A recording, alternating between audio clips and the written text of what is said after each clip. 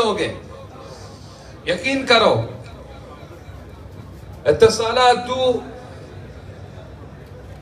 दूसरा company call नहीं करेगा, तुमको बुलाएगा, तुम जी हेलो गाइस कैसे हो? तो दोस्तों, सबसे पहले तो स्क्रीनशॉट पर आपको लगा के दिखा रहा हूँ। दोस्तों जस्ट अभी अभी का ऐलान है।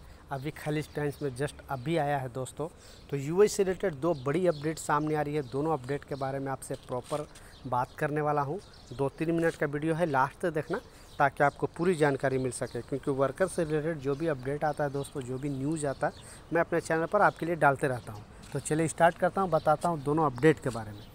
तो दोस्तों, आपने पहला जो अपडेट देखा वो आपने देखा कि जगह जगह पे दोस्तों शारजा पुलिस बेसिकली दोस्तों ये शारजा पुलिस है जगह जगह पे जाके बता रही है कि ऑनलाइन आपके साथ कैसे फ्रॉड हो सकता है, क्योंकि डू या इतीस लाख के लोग आपको कॉल करेंगे और बताएँगे कि आपको इतना धर्म का लॉटरी लग गया है, आपका ये नंबर दे दो नंबर दे दो या फिर यहाँ पे इतना पैसे रिचार्ज कर दो तो इसके चक्कर में नहीं आना है, क्योंकि अभी पहले के मुकाबले दुबई में ऑनलाइन फ्रॉड ज़्यादा हो चुका है।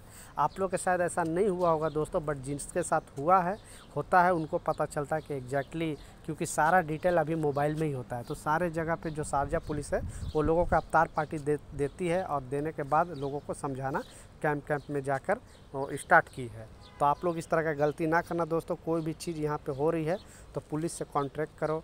पुलिस पुलिस से पूछो इंडिया पाकिस्तान के जैसा पुलिस नहीं है कि आप फ़ोन करोगे या कुछ कंप्लेन करोगे तो आपको ही मारेगी। ऐसा नहीं, जो लीगल चीज़ रहेगा उसी पर वो लोग विचार करेगी। पहला। दूसरा जो अपडेट है दोस्तों, जैसा कि स्क्रीन पर आपको लगा के दिखाया कि पहले यूआई सरकार ने दोस्तों बताया था कि तीन दिन का छुट्टी रहेगा ईद का, फिर बोली चार दिन का छुट्टी रहेगा। फिर दोस्तों जस्ट अभी का ऐलान है कि सभी लोगों को दोस्तों, ठीक है? सभी वर्करों को ऐसा नहीं कि यहाँ सप्लाई कंपनी में है या कंपनी में है तो ऐसा कुछ नहीं है। सारे जितने भी प्राइवेट सेक्टर में काम करने वाले लोगों को दोस्तों, पाँच दिन का छुट्टी का ऐलान किया है। और जो कंपनी अगर वर्करों को छुट्टी नहीं देती है, अगर वर्कर कंप्लेन करता है दोस्तों तो उसका लाइसेंस भी रद्द किया जा सकता है। बट दोस्तों, आपको सीधा बताना पड़ेगा।